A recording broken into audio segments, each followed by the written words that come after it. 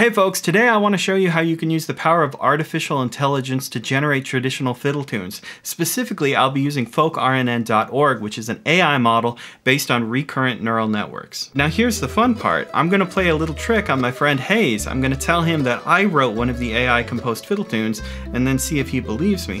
But first, let me give you a quick demo of how the AI works. Go to folkrnn.org, click on the Models tab to select which training data you'd like to use, set your temperature to a value between 0. 0.5 and 1. This controls the randomness of the generated tune, and I find that above 1 you start getting nonsense. You set your chosen modality like major, minor, mixolydian, Dorian, and so on. You click on the compose button, and after a few seconds, a new melody should appear, and if you like it, you can name it. Pretty cool, right? Now let's see if I can convince Hayes that I wrote one of these tunes. Wish me luck. Oh, and by the way, if you're interested in learning more about bluegrass phrasing, Hayes is actually holding a workshop on that topic on April 1st. You can sign up for it at lessonswithmarcel.com. I'll put a link in the description. All right, let's go prank Hayes. Did that seem off to you?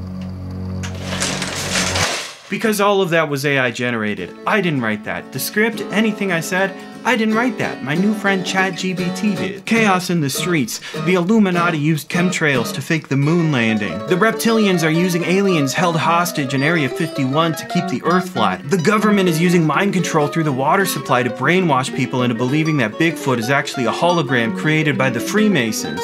Wait, I think I just used AI to generate the last part of that joke.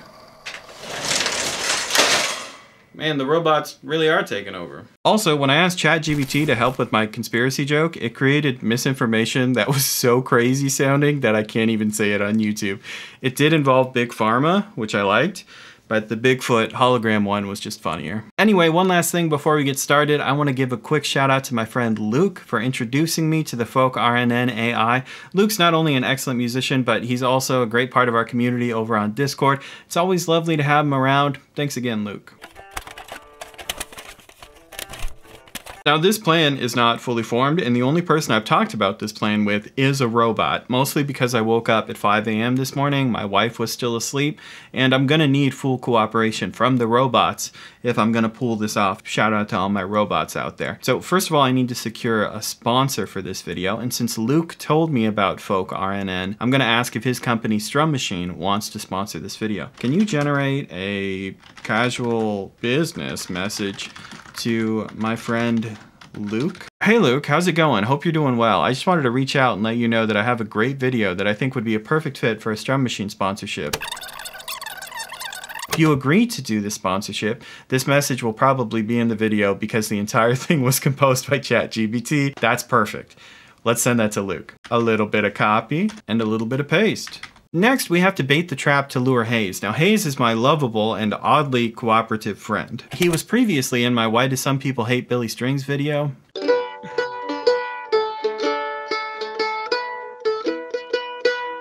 The one mandolin scale you need to know. You have to see your tetrachords, Hayes. yeah. And uh, uh, don't be scared to ask these bluegrass questions. Sorry, man. I'm, I'm from the Midwest. We we always give a little more than we should up here, you know? Hayes will make you a, a jello salad with every answer. He's probably in more of my videos, but if you're not subscribed to his channel, you should be. Can you generate a short, casual message to my friend Hayes that covers these points? And this is where the scheme really gets going. It's, it's tough because I feel like Hayes will get suspicious. Like the message needs to be very casual because a lot of times when I write these messages, I'm very direct and to the point. Hey Hayes, I need your help with a video today. Since my collaboration with David Benedict fell through, I'm on a tight deadline. The concept is a composition challenge where I'll compose a fiddle tune in an hour, and you can film yourself playing it with Strum Machine on any instrument. Later today or tonight, we can chat about composing and your thoughts on the tune. It'll only take an hour, and I want to get everything done today for continuity and the time crunch. Thanks. That's good. Let's send that to Hayes. A little bit of copy and a little bit of paste. A few moments later. Hayes says, yo dude, do you have 24 hours worth of wiggle room on this one? I'm driving up to Michigan this afternoon for a week of gigs. Won't be able to record anything until tomorrow afternoon. Would love to help. Hope that works. Hopefully iPhone footage is acceptable too. Yeah, right. Th this'll work, right? Okay, so let's figure out some rules real quick. Whatever fiddle tune we do come up with, I think I have to retranscribe it into Guitar Pro. And with that, I think I should be able to like set up like a first and second ending and like label A parts and B parts. I don't think that's a big deal. I mean, it still takes the crux of the tune. It's more about making it like not suspicious to Hayes. We'll probably do 4-4 and we'll probably make it a major tune. That's probably what I do, right? If I actually had to do this challenge, I probably would compose a major tune in an hour. Hopefully this takes less than an hour. Uh, the last thing that's important is that you can copy some of the ABC notation. For instance, if we like the A part, we can put the A part in there as like seed information, and then it'll just generate us a B part. There it is, generating our first tune. What's it sound like?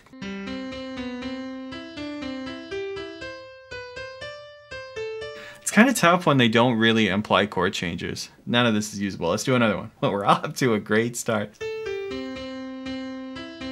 I'm not super impressed with that one either. Let's take this down to 0.5 and let's see if it sort of plays it even straighter if we get something more usable. It's so much harder because Hayes knows my playing. Like he's heard fiddle tunes I've written before, so he might listen to this and be like, this ain't you. Nope, nope, nope, nope, nope, nope. I feel like some of you might be looking at this and being like, well, you know, this is proof that the AI is no good. A lot of the tunes that we found haven't been very interesting. But if you've ever written a fiddle tune on your own, you know that this is how the process works. You write lots of little melodies and you're like, oh, that's kind of interesting, but like not interesting enough, right? Watching folk RNN work is kind of like how you would write a tune. You know, you try all these ideas and a lot of them are kind of boring and then you find the one. This is kind of good.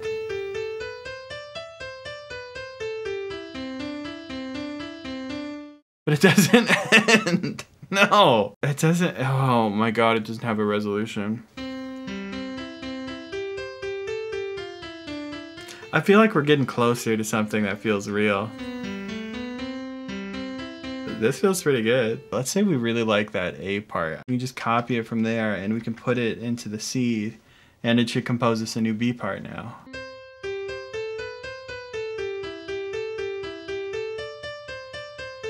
Oh, that's that's pretty good. Wait, I want to listen to this whole thing. I think we might be able to work with that one.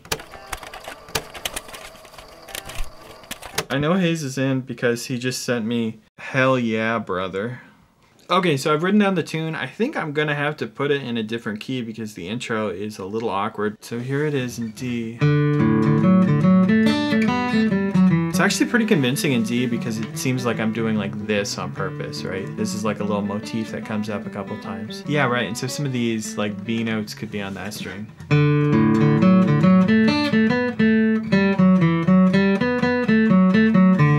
That'll be like, oh yeah, I wrote it like that on purpose. And this floating thing, people who know my composing would think that I would write that. Okay, let's make this thing look like one of my tabs. Even though our AI didn't generate like first and second ending pickups, I think the inclusion of them would make it just a little more convincing. So we're gonna we're gonna cheat the tiniest little bit. Allow me to cheat just this one time to make it more convincing. A lot of times in these tunes you have a little pickup that would push you back into B1 of the A part. I can't believe he agreed to this. That means that he read the AI generated message and was like not suspicious. uh, okay, let's figure out what the cards would be. Alright, so I guess the next thing to do is to pop open Strum Machine. Oh, we don't have a name for the fiddle tune yet. Uh, hold up there for one second. Let's let past Marcel figure out what we're going to call the tune, and in the meantime, I just got an AI generated script for the Strum Machine sponsorship. Hey, what's up guitar pickers? Marcel here, and today we have an exciting sponsor for the channel. Have you ever wanted to practice your bluegrass picking but couldn't find the right song to practice with? Well look no further than Strum Machine. Strum Machine is a powerful app that lets you practice your bluegrass picking with over 1,000 songs from bluegrass and related genres. But that's not all. With Strum Machine, you can quickly add and customize your own songs to practice with. This means you can practice with the songs you love at the tempo that's right for you. Plus, Strum Machine is continually developed by its creator Luke, who's also a bluegrass musician so you know you're getting an app that's been made with the needs of bluegrass pickers in mind. Plus, the app is available on desktop and mobile, so you can practice wherever you are. Now I know what you're thinking, Marcel, this all sounds great, but what's the catch? Well, there is no catch. In fact, Strum Machine is offering an extended 30-day free trial for viewers of this video. Just head to strummachine.com slash Marcel to sign up. So if you're a bluegrass picker looking for a powerful and customizable practice tool, look no further than Strum Machine. Thanks for watching, and happy picking. I just got this uh, mouse pad for Cedar Point in Ohio, and Hayes lives in Ohio, so maybe we call it the Cedar Point Reel. How could Hayes be suspicious, right? We're calling out, you know, the best thing in Ohio. And let's try to play along with Strum Machine.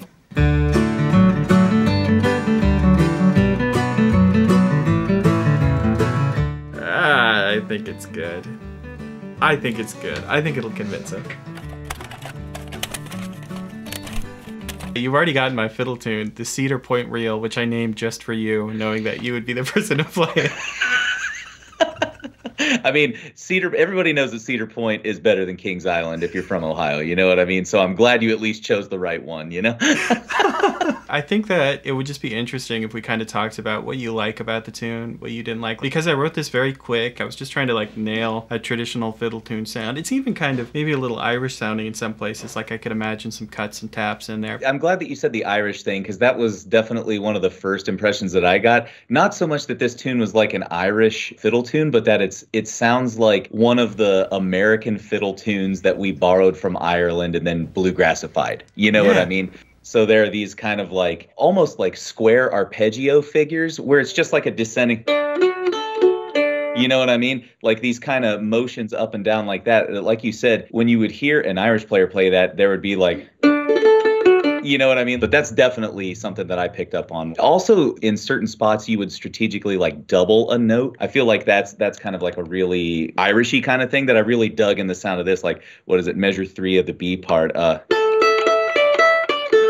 Well, awesome, man. I'm I'm glad that you got something out of it, and uh, I'm glad that it makes sense to you. And if I'm reading you right, you don't have any super harsh criticism anywhere. No, not at all, man. This is what I would call like this is a stock fiddle tune. This is one that sounds like any fiddle tune that would be called at a jam session. I feel like at least where I'm from. You know what I mean? Well, I do need to come clean about this fiddle tune that I'm showing you now. You know how I said I wrote it myself? Well, it turns out I've been lying this whole time. It was actually written by an artificial intelligence program called Folk RNN. I can't believe I got away with it for so long, but hey, at least we can still enjoy playing it together, knowing it was created by a machine. Oh, and by the way, this message was also composed by an AI. It looks like the robots are taking over, one message at a time. Are you serious, man? Yeah. That's awesome, dude. That is so awesome. You totally got me. also, we were just in the teacher call with all of our teachers, and since this came up, I had to lie to all of them too.